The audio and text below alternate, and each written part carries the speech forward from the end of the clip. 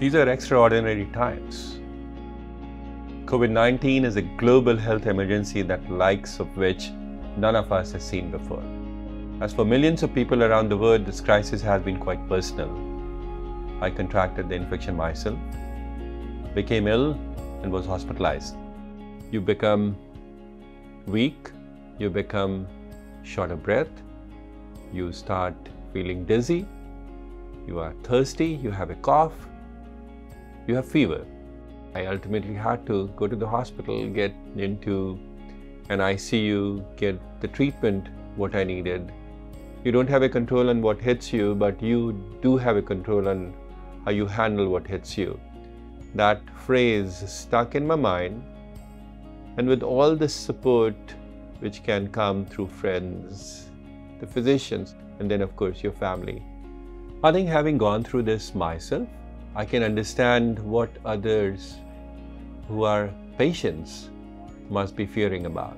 You can relate with the fears, relate with the symptoms, relate with what they are experiencing.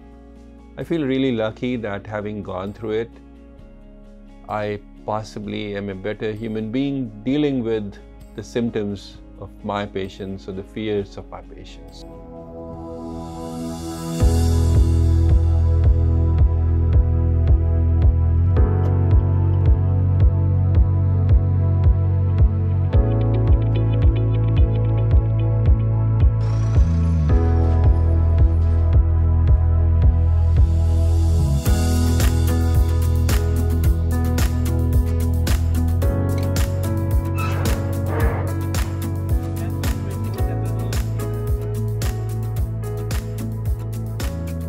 ये हमारा जो सारा सामान है, जो अमेरिका से डॉक्टर ऐश तिवारी ने भेजा है और भारत खोज लिमिटेड की मदद से हमारा फाउंडेशन, अनुपम खेर फाउंडेशन जो है, उसमें इसको अलग अलग नीडी हॉस्पिटल्स में हम भेजने की कोशिश कर रहे हैं और make we are also making sure कि जिस हॉस्पिटल में जाएँ, वहाँ पर उनका सही इस्तेमाल हो।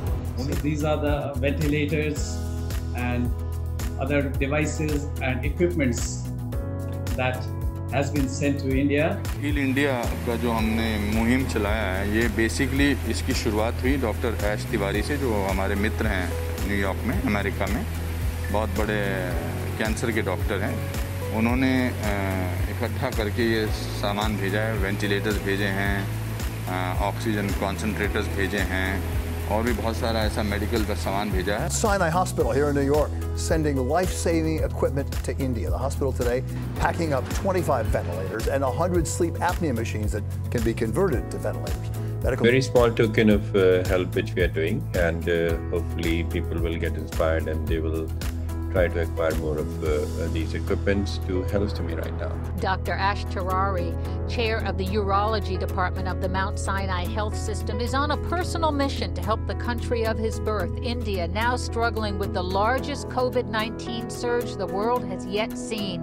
New infections. A COVID survivor himself just recently lost a childhood friend because there wasn't a ventilator to help him breathe. They drove around for about two hours to get into a hospital with a ventilator, and there was none at that time.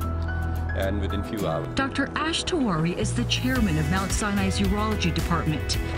He's helping Mount Sinai pay it forward, sending hospitals in India some of the same ventilators Sinai received at the height of New York's COVID outbreak. It is just like what we were dealing last year in New York. Last year, we were getting all the supplies. People were coming to help us out. The effort came together with the help of actor and philanthropist Anupam Kher.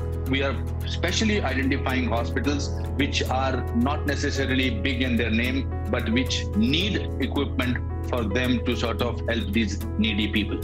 I am here to thank all of you for your generosity and support you extended in these critical times. Ventilators and oxygen concentrator are really going to help in treating COVID patients in such critical times. We are really indebted to them for sending this uh, package of help, of trust, and also, you know, We started uh, doing research uh, which kind of intersected between the COVID infection and the cancer. And we really put together a large body of data which got published and will help many patients with different cancers, definitely prostate cancer and the kidney cancer. As a patient, I think it's a good idea to be the healthiest we can before it hits us because more chance that we will come out as a winner if we eat right, if we exercise, if we sleep, if we control our blood pressure, if we control our diabetes, if we control our weight. I really want to say special thanks to both uh, Dr. Charney, Dr. Davis, Dr. David Rich, and my doctors, Dr. Louis DiPaolo, Eric Nybert, Dr. Ronnie Shimoni, all the nurses of the ICU who were helping me in this journey.